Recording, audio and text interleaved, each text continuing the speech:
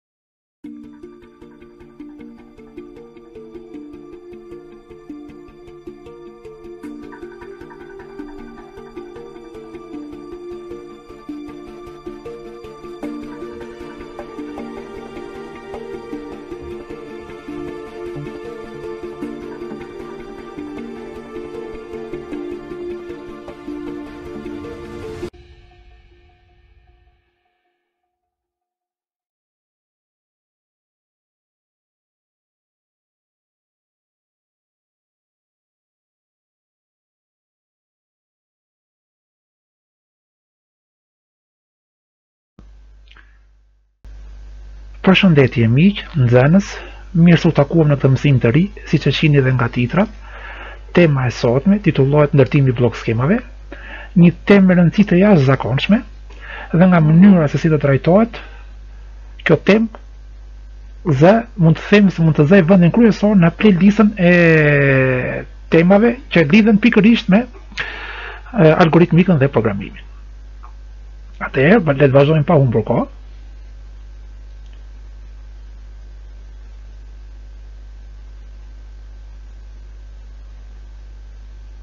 Pra, ky kjo temë bazohet pikërisht në librin TIK dhjetë të botimeve Ideart, është mësimi 4, 4.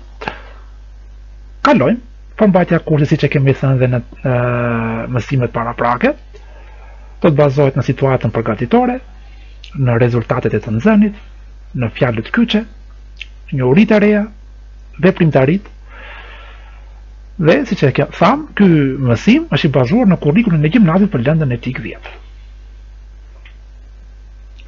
Në situatën përgatitore, do të bazohemi pikërisht në shqyrtimin e figurave gjeometrike të paraqitura në të paraqitura. Pra shih grupin e figurave gjeometrike të paraqitura në figurë, emërtoji ato dhe kujto funksionet që kanë. Në rezultatet e të nxënit, dy do jenë rezultatet kryesore që duhet të merren pikërisht nga ky mësim, nxënësi duhet të përftojë pra aftësinë, pra duhet të ketë aftësinë që të njohë rolin që luajnë figura të caktuara gjeometrike në programim, pra në bllok skemat, dhe dytra, e dyta, që është akoma dhe më e rëndësishme, krijon bllok skema të thjeshta. Në fjalët kyçe, do të përmendim tre janë fjalët kyçe kryesore, figurë gjeometrike, blloqe standarde dhe bllok skemë. Këto janë tre fjalët kyçe që do na shoqërojnë gjatë gjithë mësimit. Çfarë janë blloqet standarde? Shihni figurat gjeometrike. Po të shikojmë me me këtu me kujdes këto figura gjeometrike dhe të shikojmë funksionalitetin e tyre. Përveç funksioneve si figura gjeometrike në fushën e programimit, ato paraqesin disa veprime. Algoritmet mund të paraqiten me anë të bllok skemave. Bllok skemat përbëhen nga disa figura gjeometrike standarde që quhen blloqe shkurt. I marrim me radhë Pra këto figura gjeometrike janë elips, trapez me bazë madhe sipër, trapez me bazë madhe poshtë, drejtkëndësh, një romb, një gjashtkëndësh. Këto janë figurat kryesore gjeometrike, këto shkurt quhen blloqe në programim. Përdorimi i tyre elipsi tregon fillimin e algoritmit apo fundin e algoritmit. Trapezi me bazë madhe sipër lexon vlerat e variablave të shënuara në bllok. Trapezi me bazë madhe poshtë shtypen vlerat e variablave të shënuara në bllok. Kujdes, në libër mund t'i keni të dyja këto figura gjeometrike, si trapezin me bazë madhe dhe trapezin me bazë vogël, me një drejtkëndësh, me një paralelogram, më falni, me një paralelogram, si paralelogrami, edhe këto figura kanë të njëjtin funksion. Pra, këto blloqe luajnë të njëjtin funksion. Drejtkëndëshi kryen veprimin ose llogaritje duke shfrytëzuar shprehjet e shënuara në bllok. Pra, ky është roli i drejtkëndëshit, rombi apo gjashtëkëndëshi, përcaktojnë degëzimet e veprimeve të mëtejme, duke pasur parasysh kushtet e shënuara në bllok. Siç e thamë dhe në fillim, elipsi në fund tregon fundin e algoritmit. Këto janë blloqet standarde, nuk janë vetëm këto blloqe, ka dhe blloqe të tjera, pra figura të tjera gjeometrike, sidomos te programimi i orientuar objekt ose te programimi modular, ku neve mund të shprehim një drejtkëndësh me dy vija anësore. që mund të shprehin një funksion. Pra ne mund të kemi edhe figura të tjera gjeometrike në programim, por këto janë figurat bazë që paraqiten në paraqiten në një algoritëm bllokskemë. Përdorimi i algoritmeve bllokskemë është më i përdorshëm sot se sa pseudokodet, pra algoritmet bllokskemë janë më praktik, më funksional dhe paraqitin paraqisin një diçka në mënyrë më të më të thjeshtë. Një bllok, thamë, përfaqëson veprime që janë të së njëjtës natyrë. Kujdes, duhet në në njëjtin bllok nuk mund të paraqesin veprime të natyrave të ndryshme. Pra veprimet që janë të së njëjtës natyrë përbëjnë një bllok. Marrim shembullin e parë, shembull 1. Jepen dy vlera. Dy vlera gjeni më të madhen nga të dyja. Dhe këtu është dhënë një algoritëm dhe ky algoritëm është një algoritëm i degëzuar, ku kemi një degëzim të plotë. Pse kemi një degëzim të plotë? Sepse këtu tek rombi ë ku ne kemi një kusht me të dyja rastet, edhe kur ajo është e gabuar, edhe kur është e vërtetë. Në qoftë se me të dyja rastet, edhe kur është e gabuar dhe kur është e vërtetë, ne themi se kemi një degëzim të plotë. Për sa i përket algoritmeve, tre janë llojet kryesore të algoritmeve. Kryesisht tre janë, pra janë linear, të degëzuar dhe ciklik. Por qëllimi i kësaj teme mësimore nuk është që ju ne të shikojmë në mënyrë të detajuar të gjitha tipet e algoritmeve, por të merret një koncept i qartë se ç'është një algoritëm, algoritmi degëzuar për shembull apo algoritmi algoritmi linear si funksionon mënyra e veprimit të tyre dhe se si dhe se si mund të ndërtosh një algoritëm, pra një algoritëm bllok skemë. Kjo është një bllok skemë me një algoritëm të degëzuar siç e thamë në fillim, në qoftë se kushti i vendosur tek blloku në formë rombi plotësohet, atëherë ndiqet shigjeta e vërtetë dhe maksimum është vlera A, e cila afishohet në ekran. Ky afishim mundësohet me anë të bllokut në formë paralelogrami. Në qoftë se kushti nuk plotësohet, atëherë ndiqet shigjeta e gabuar, maksimumit i jepet vlera B me anë të bllokut drejtkëndësh. Afishohet vlera më e madhe me anë të bllokut paralelogram. Blloku rrethor fund tregon fundin e algoritmit. Pra, në të dyja rastet, varet nga vlera që neve do fusim në si input e themi ne këtu A dhe B, neve do të na afishohet vlera maksimum. Pra, Ky algoritëm bllok skemë, në fund të fundit, çfarë tregon? Ky krahason pikërisht dy vlera që futen nga tastiera dhe afishon më të madhen e tyre, ose maksimalin, mak, më të madhen e këtyre vlerave, ose maksimalin. Ky është një shembull tipik i një algoritmi të degëzuar me degëzim të plotë. Dhe përveç se kemi dhënë këtë algoritëm bllok skemë, ne do të shohim dhe zbatimin praktik në në program. Pra, Ne do marrim një gjuhë programimi të caktuar ku do të programojmë pikërisht algoritëm bllok skemë. Gjuha e programimit në të cilën do merremi ne është pikërisht gjuha C++, një gjuhë që ka bërë një revolucion për sa i përket për sa i përket programimit sepse sepse e ka bërë programimin më thjesht. Atëherë le të vazhdojmë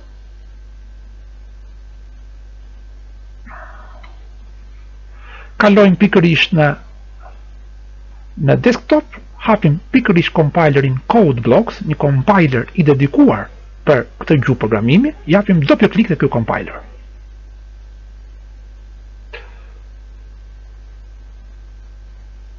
Presim pak derisa të ngarkohet. Atëherë, u ngarkua ky program, krijojmë një projekt. Krijojmë një projekt. në console application do punohet, në mjedisin console application do punohet pikërisht programi, zgjedhim console application, go, next, zgjedhim gjuhën e programimit C++, next, në emrin e projektit, po vendosim pikërisht këtë emër projekti, për shembull, mund të them testim, vijë poshtë, block scheme. Block scheme. Do ta ruajmë në direktorinë desktop këtë projekt. Japim next. Finish. Pikërisht në projektin testim block scheme, kemi nënfolderin sources, pra burim, klikojmë tek main pikë cpp. Dopjo klik, në thurrje include, Gjithnjë duhet të shoh edhe algoritmin block scheme, algoritmi block scheme pra ushtrim më shkurt, ushtrim për krahasimin e dy vlerave numerike A dhe B dhe gjetjen e afishimin në ekran të më të madhes prej tyre, pra vlerës maksimale prej tyre. Atëherë, kjo është, do të ndjekim në mënyrë identik pikërisht këtë këtë block scheme. Shkojmë dhe një herë tek tek programi dhe Këtu bëjmë një koment në shumë rreshta, ku mund të vendosim titullin e programit, mund të themi program për uh, për krahasimin e dy vlerave për krahasimin e dy vlerave program për krahasimin e dy vlerave A, dhe, B, që i fusim nga tastiera dhe afishimin e më të madhes prej tyre. Besoj se kërkesa është e qartë e dy vlerave A dhe B që i fusim nga tastiera dhe afishimi e më të madhes prej tyre. Pra, e vlerës maksimale, mund të thoshim në kllapa, të vlerës maksimale. Besoj se është e qartë. Pasi kam bërë këtë gjë, deklaroj edhe ato që quhen library ose biblioteka, klasa të gatshme në C++, i shpjeguam dhe mësimin e kaluar me thurje include marrim dhe një klasë tjetër, iomanip, unë mund të marr disa klasa standarde të cilat ka shumë klasa të gatshme që na ndihmojnë në programim, po, po marrim disa të cilat janë si më të domosdoshme, c me, me, c mathematics, cmath, po marr pikërisht këtë klasën, po marrim dhe klasën string, dy sekonda, cmath, c mathematics, marrim dhe klasën string, thurje, include, string, qoftë se mund na duhen vlera string. për faktin e thjeshtë sepse këtë projekt testim bllokskemë, pra këtë program, unë mund ta përdor këtë projekt mund ta përdor për programe të ndryshme që do më duhet për të testuar. ë Më mjafton këto katër klasa, int main pikërisht është programi ynë kryesor ose funksioni kryesor. Gjithçka zhvillohet tek, programi ynë kryesor. atëherë zhvillojmë programin sipas identik sipas bllokskemës që, sipas bllokskemës që na është dhënë. Gjëja e parë që të bëjmë të deklarojmë dy variabla, meqenëse kemi vlera çfarëdo që mund të fusim nga tastiera, këto variabla do jenë numra të tipit real. Atëherë double, uh, double, a, presje b. Meqenëse i kemi vlera të tipit njëjtë, ne bëjmë deklarim në një rresht, pra Një deklarim i përbashkët quhet. Kalojmë më poshtë. Japim një njoftim.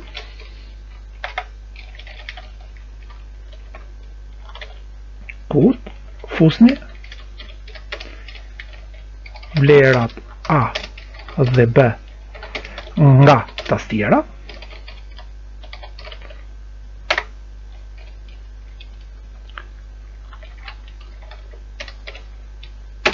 endline atëherë përsëri këtu do themi që vlera A ose numri A vlera A baras vlera A baras lëmë një hapësirë për output më të mirë pikëpresje dhe operatori, operatori për futjen e vlerave nga tastiera është pikërisht operatori cin në C cin dhe këtu do themi A pikëpresje.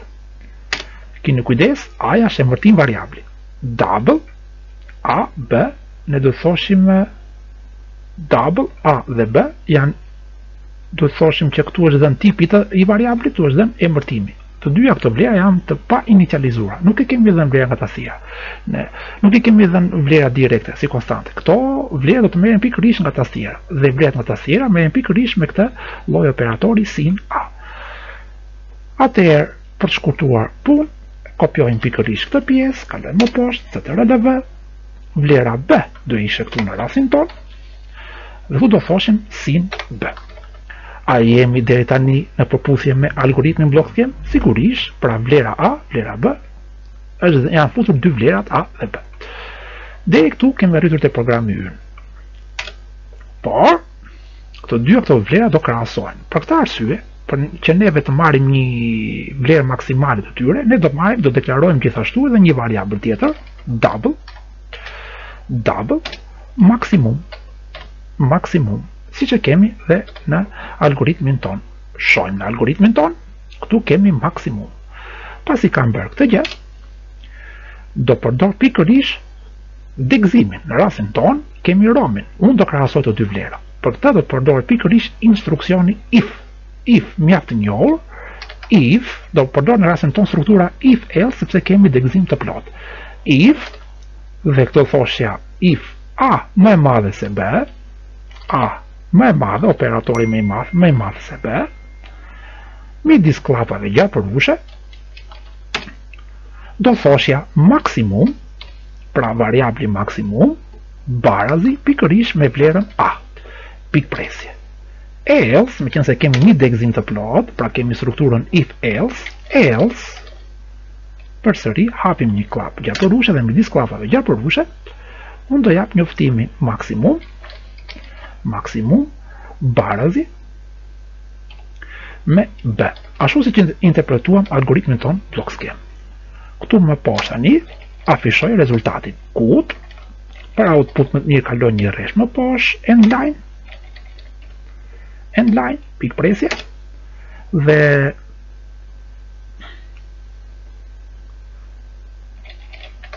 Afishoj rezultatin, këtu, cili do ishte rezultati që do merreshe në përfundim në afishim, shohim algoritmin, shohim algoritmin blokskemë, këtu thotë afisho vlera më e madhe është max. Pra, një nga këto dy vlera do jetë atëherë do thoshja që vlera më e madhe është max baras ne këtu kemi të dhëna të tipit string Max Baras lëmë një hapësirë bosh përsëri output dhe do thoshja këtu maksimum endline them se programi ka mbaruar dhe është i saktë ekzekutoj pikërisht këtë program dhe shof rezultatin Ky program është i ndërtuar në mënyrë identik sipas zgjidhjes së problemit në algoritmin tonë blokskemë. Pra, ja ku kemi algoritmin blokskemë dhe ky program është ndërtuar pikërisht sipas kësaj zgjidhje. Besoj se është e qartë, ekzekutoj dhe shoh përfundimin.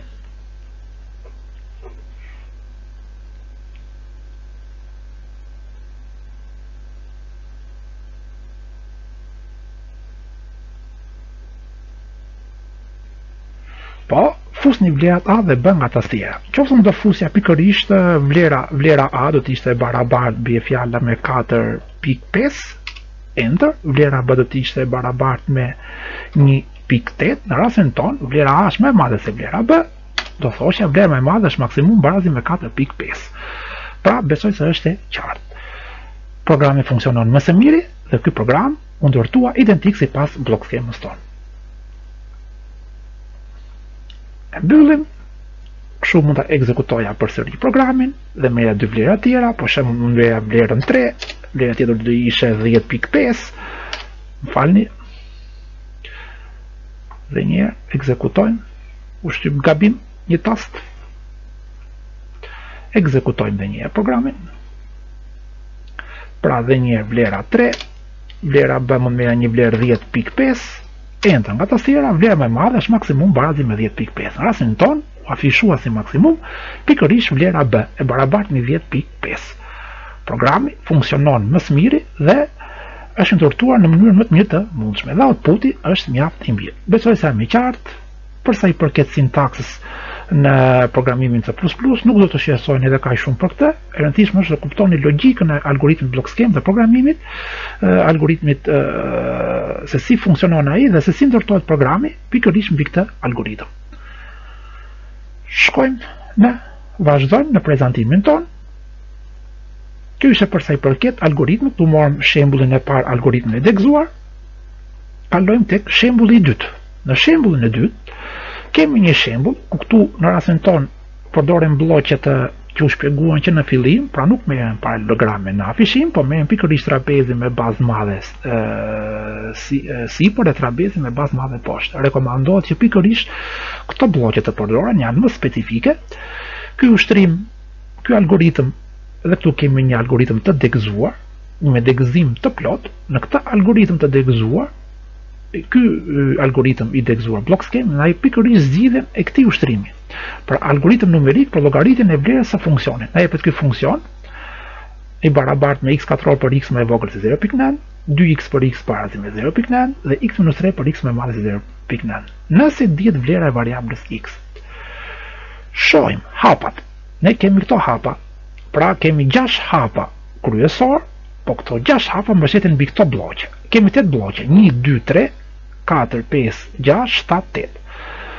Ëh, ne këtu po përdorim ne këtu gjithashtu kemi po përdorim do bëjmë një testim të këtij algoritmi bllokskemë. Për testimet e algoritmeve bllokskemë pikërisht përdoren përdoret një procedurë standarde me tabelë. Me qëllim që testimi i bllok diagramit të rrjedhë me një procedurë standarde, ne kemi pikërisht këtë gjë këtu në bllokun e parë, hapi i parë në bllokun e parë, ku kemi fillimin e programit, hapi i dytë, blloku i dytë lexo x, kemi inputin e vlerës x, prej njësisë hyrëse, rastin tonë x-in e kemi marrë barabartë me 4.7. Hapi i tretë, pyet x-i më i vogël barabartë me 0.9. x-i shkon pikërisht te hapi i dytë, sepse x, vlera e x-it do merret pikërisht nga hapi i dytë, që ishte barazi me 4.7. Rastin tonë, x-i është më i madh se 0.9.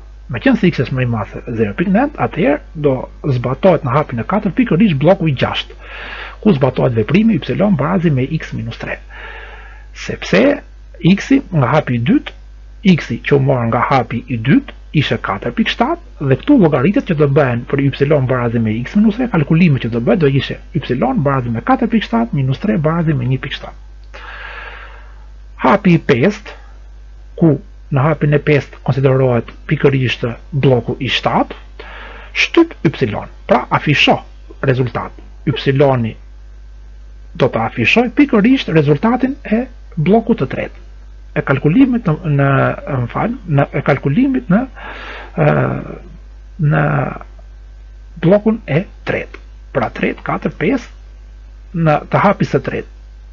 e kalkulimit që do bëhet më falni në bllokun e 6, ku kalkulimi në bllokun e 6 rrjedh pikërisht nga nga blloku 3 sepse nga blloku 3 sepse x-i ishte më i madh se 0.9. Në këtë rast shtypet numri 1.7. Pra, dhe në hapin e 6, në hapin e 6 konsiderohet pikërisht blloku i 8, që është fundi i programit dhe fundi i algoritmit. Besoj se jam i qartë, pra dhe njëherë e gjithë kleçka ishte që në hapin e tretë, katër dhe pestë, ne merreshin në konsideratë blloqe 3, 6 dhe 7. Në bllokun e 7, në në bllokun e 7 afishohej rezultati, në bllokun e 6 kryhej kalkulimi, pra llogaritja y barazim me x minus 3, ku y barazim me x minus 3, pikërisht ku x-i merrej pikërisht nga vlera e x-it merret pikërisht nga blloku i dytë. Pra, në, në hapin e bllokut nga blloku i dytë, ku në bllokun e dytë ne vendosëm një rezultat, ne afish ne futëm një vlerë të barabartë me 4.7. Në këtë rast, kalkulimi që do bëhej në bllokun e 6 do të ishte y e barabartë me 4.7 minus 3 baraz me 1.7. Pra, Pak a shumë kjo ishte kleçka e, e këtij algoritmi bllok skemë dhe kjo tabelë na shërbente pikërisht për të testuar pikërisht këtë për të testuar pikërisht këtë algoritëm. Pra me qëllim që testimi i bllok diagramit të rrjedhë me një procedurë standarde, mund të shfrytëzohet një tabelë për testim si tabela që morëm neve më poshtë. Edhe këtë algoritëm ne mund ta programojmë. Kemi një algoritëm bllok skemë mund ta programojmë dhe të shohim se si ndodh ky programim. ju duhet të familjarizoheni pikërisht me algoritmat bllok skemë që na jepet, me hapa standarde, ne këtu kemi 6 kemi 8 blloqe standarde dhe 6 hapa që ndiqen kryesisht për të për zgjidhjen e këtij problemi, pra për të kryer këtë algoritëm.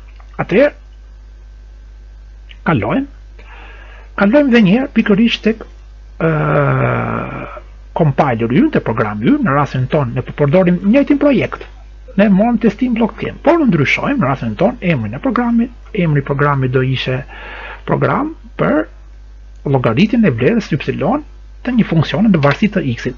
Pra, llogarit për, për llogaritjen e vlerës y në varsi në varësi e vlerës y të një funksioni të një funksioni. Në varësi, po e bëjmë kshu të vlerave, të lejuara, të vlerave të lejuara x, në varësi të vlerave të lejuara x. Besoj se është E qartë, ku kemi të një funksioni matematik, po të një funksioni. Pra, ja ku i kemi dhe ushtrimin, algoritmin për llogaritjen e vlerës së funksionit. Të një funksioni matematik, po e bëj kështu. Në varësi të vlerave të lejuara dhe një herë x. Po, kjo do ishte kërkesa e programit, atëherë këto nuk po i luaj, unë mund të shtoj dhe klasa të tjera, por këto janë disa klasa standarde, që na shërbejnë për të krijuar sa më mirë dhe sa më lehtë programet e thjeshta në rastin tonë. Atëherë që mos krijohet konfuzion, po i fshij gjithçka nga e para. Dhe po ndërtojmë programin nga e para. Gjëja e parë që duhet bërë, ne duhet të deklarojmë duke parë algoritmin bllokskemë, është pikërisht ky algoritëm bllokskemë, ne duhet të shohim në hapin e dytë, po, bllokun e dytë, këtu input, ça do vendosim, do vendosim pikërisht, do fusim vlerën e x-it. Atëherë, gjëja e parë do deklarohet një variabël, një variabël çfarë do, double x. Po e marr më të madhe. Më poshtë, bëj një njoftim, cout fut vlerën e x-it, vlerën, fut vlerën e x-it,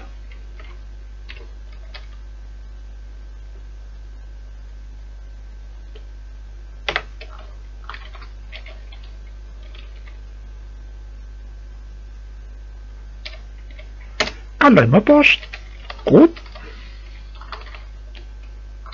vlera x, vlera x,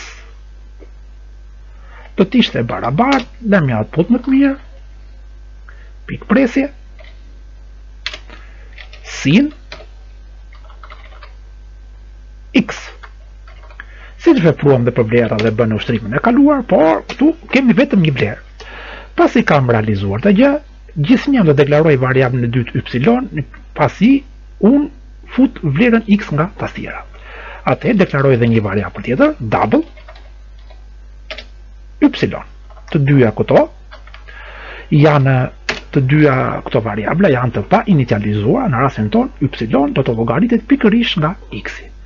Pasi kam deklaruar dhe vlerën y, atëherë shumë bukur unë mund të thoshja mund mund të thoshja mund të mund të përdor pikërisht ato që quhen strukturat if if else if else Pra kemi një strukturë, sepse degëzimi që na tregon ky algoritëm, në rastin tonë algoritmi këtu, ne kemi një algoritëm për llogaritjen e një funksioni, një algoritëm me degëzim, algoritëm me degëzim të plotë, por ku merret në konsideratë këtu dhe shenja e barazimit. Në fund fare do afishohet një vlerë e ypsilonit. Atëherë do thoshja if if if x-i më e madhe shofim kushtet e algoritmit,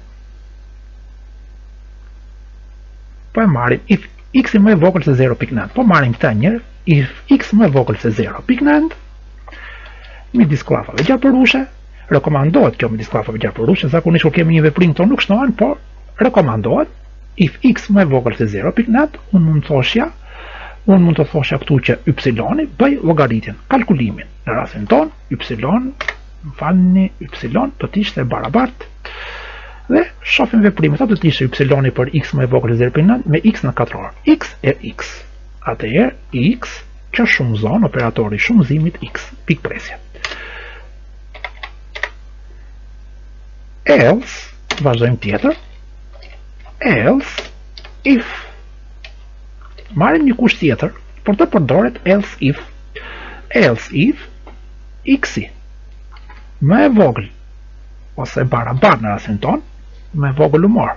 Do marrim rastin e dytë kur x është është e barabartë me 0.9, y do dalë e barabartë me 2x, për x barazi me 0. Në rastin tonë, ë kur kemi kushte në degëzime, pra kur kemi instruksionin if, shenja e barazimit do të ishte me dy baras. Qoftë se x do ishte e barabartë me 0.9,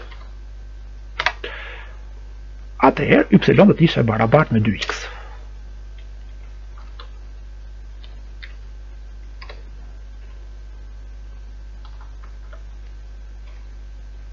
Dhe pasi kam mbaruar dhe këtë, else tani, meqenëse kemi dhe vetëm një kusht tjetër, else do kundërshtojë vërtetësinë e dy kushteve të para, if dhe else if. Else, do thoshja, else, y do të ishte e barabartë shohim dhe njëherë algoritmin tonë block scheme algoritmi në block scheme këtu në rastin tonë do ishte y do të ishte e barabartë me x minus 3 për x më e madhe se 0.9 meqenëse kemi else else kundërshton pikërisht vërtetësinë e x-it më i vogël 0.9 x-i barazi me 0.9 i përjashton këto atëherë meqenëse i përjashton të dyja Do merret si e vërtetë x-i më e madhe se 0.9. Dhe në këtë rast, y-i do të ishte do të jepej vlera, pra do të ishte i barabartë, do të jepej vlera y barazi me x minus 3.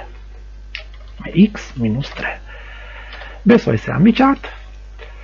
Pasi kam bërë këtë gjë, pasi kam bërë këtë gjë, unë them se e kam kryer kalkulimet dhe llogaritjet, tani do bëj pikërisht afishimin. Për output më të mirë cout End line, kalojmë më poshtë. Cout, do thoshja vlera, e funksionit, vlera e funksionit,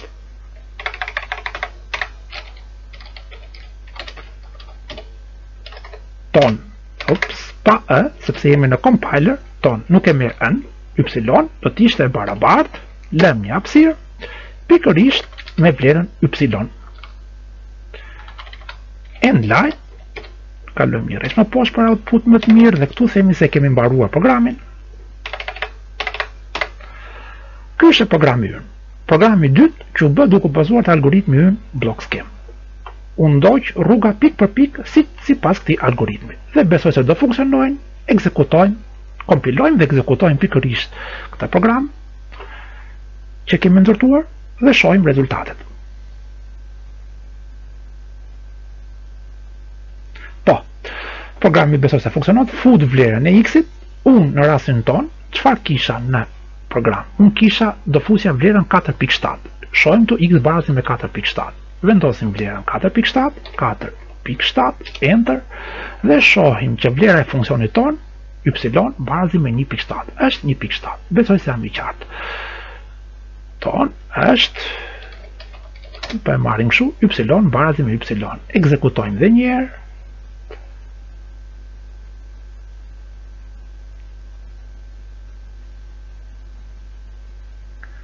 Pra, vlera x barazi me 4.7, enter, vlera e funksionit tonë është y barazi me 1.7. Qoftë se unë do merrja vlera tjera, ekzekutojmë përsëri, unë do merrja për shembull vlera më të vogël se 0.9, minus 1, enter, vlera e funksionit tonë është 1. Pse 1? Sepse për vlera më të vogla se 0, se 0.9, në rastin tonë unë e mora minus 1, y do ishte x herë x, sipas algoritmit tonë bllokskemë. pra x në katror. Jemi të qartë? Atëherë minus një herë minus një do na dali një. Ekzekutojmë edhe njëherë programin për x barazi me 0.9. Sa do dali ky program? Do dali 2x pra me 1.8. Ekzekutojmë. Edhe njëherë programin për x barazi me 0.9, enter nga tastiera, vlera e funksionit tonë, është y, mos kemi bërë ndonjë gabim,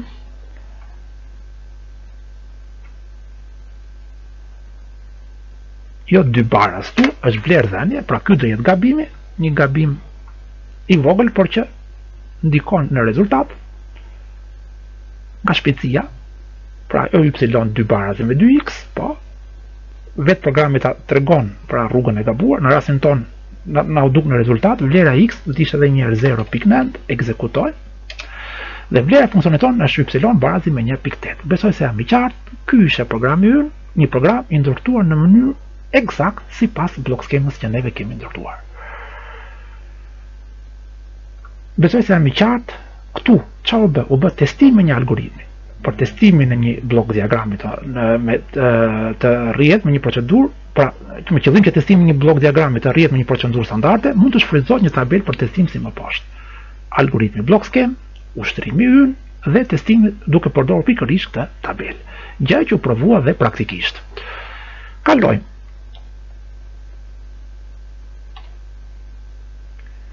Shembulli i tretë, shembulli i tretë, pikërisht neve na na jep një algoritëm bllokskemë, pra na jep një bllokskemë, që për fazat e programimit. Ky është një algoritëm linear dhe po të shqyrtohet me vëmendje, pra blok skema e treguar në figurë paraqet një algoritëm linear. Në këtë lloj blok skeme veprimet kryhen njëri pas tjetrit sipas një renditjeje të përcaktuar qartë. Instruksioni i dhënë në secilën pjesë të blok skemës ekzekutohet vetëm një herë. Pra këtu kemi fillo, përpuno, kompilo dhe në qoftë se kemi gabim, do të kthehemi përsëri te përpuno, kompilo, përpuno dhe kompilo. Pra kompilimi do të vijë pas përpunimit. Në qoftë se nuk është gabim, kalojmë në ekzekutimin e programit, lidh, ngarko dhe ekzekuto, në qoftë se është gabim, përsëri do dalim në lidh, ngarko dhe ekzekuto, në këto pjesë të programit, që janë lineare, pra njëra pas tjetrës, dhe në qoftë se nuk është gabim, mbaron programi. Programi rrjedh nga lart poshtë, me hapa të përcaktuar saktë dhe veprimet kryhen njëri pas tjetrit sipa, veprimet kryhen njëri pas tjetrit sipas një renditjeje të caktuar. Bllok skemat janë një mjet shumë i përdorur në paraqitjen e algoritmeve. Më lart, pamë tre bllok skema që përfaqësojnë dy kategori algoritmesh, algoritmin e degëzuar, pra ne morëm dy raste algoritmesh të degëzuar, i provuam dhe në praktikë, ku ndërtuam programet përkatëse dhe algoritmin linear. Pavarësisht nga paraqitja e tyre grafike, qëllimi është zgjidhja e problemit të shtruar. Besoj se jam i qartë për këtë gjë. Ky është përfundimi në këtë mësim. Hapi i fundit që duhet të ndjekin nxënësit është pikërisht me të dhënat e mëposhtme, ndërto bllok skemën e një algoritmi linear, pra ku kemi këto hapa, vendos kyçin në bravë, hapi i dytë hap derën, hapi i tretë hyr në dhomë, hapi i katërt ndiz dritën, hapi i pestë mbyll derën e hapur. Ky është ushtrimi i parë, duke u nisur nga ky algoritëm, të ndërtohet një bllok skemë për këtë algoritëm. Dhe pyetja e dytë, ndërto bllok skemën për njehsimin e rrënjëve reale të trinomit të shkallës së dytë me një ndryshore. Nxënësi që ka aftësi dhe që ka punuar me një gjuhë programimi shumë bukur, mund të mund, mund edhe ta programojë një algoritëm. Besoj se kam qenë i qartë për këtë temë mësimore.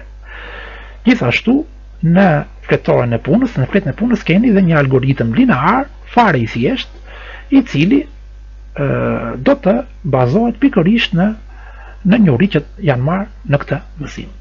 Miq të dashur, nxënës, ky është mësimi për sot. Besoj se kam qenë i qartë për ju, është dhënë pak a shumë në mënyrë të qartë dhe të shtjelluar mirë koncepti i algoritmeve, bllok skemë, si ndërtohen ato, Ne morëm dy raste të caktuara që ishin algoritme të bllokskemë lineare dhe algoritme bllokskemë të degëzuar. Për algoritmet bllokskemë të degëzuar u morën dy shembuj, dy ushtrime që nuk i ka libri, por që unë i bëra për arsye të pasjes më të qartë se si mund të përfitohet, si mund të përftohet pra një program pikërisht nga algoritmi bllokskemë, pra si mund të adaptohet pikërisht një algoritëm bllokskemë në një program të caktuar. Ku Si gjuhë programimi u mor pikërisht gjuha C++. Pra, ky ishte mësimi për sot, të dashur miq. Shpresoj të kem qenë sa më qartë për ju.